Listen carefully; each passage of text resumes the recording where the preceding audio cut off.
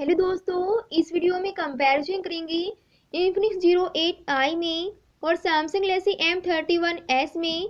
देखते हैं कौन सा फ़ोन है बेस्ट आप लोग के लिए बात करते हैं डिस्प्ले से।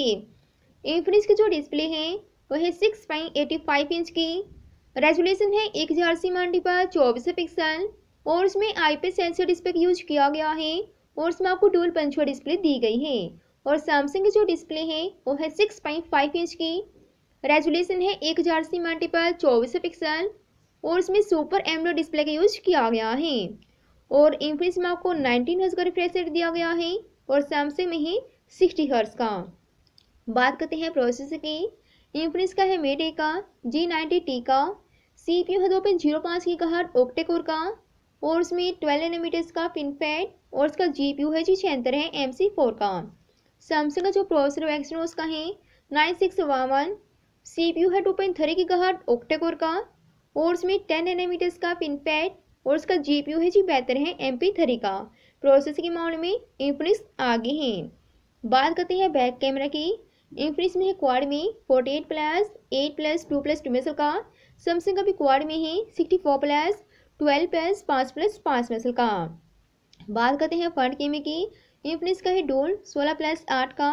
और सैमसंग का है बत्तीस का। फ्रंट कैमरा और बैक कैमरा दोनों में आगे हैं सैमसंग। बात करते हैं ऊपर सिम की, दोनों का सिम हंड्रेड टेन बात करते हैं बैटरी की तो इंफिनिक्स में है पैंतालीस एम की, सैमसंग में दी गई है छः हज़ार एम की। दोनों फ़ोन में बैटरी नॉनेबल हैं, आप दोनों की बैटरी को निकाल सकते। हैं बात करते हैं चार्ज की इंफिनिक्स में आपको बॉक्स में मिलता है अठारह वाट का, लेकिन सपोर्ट करता है तैतीस वाट के बाद चार्जर को।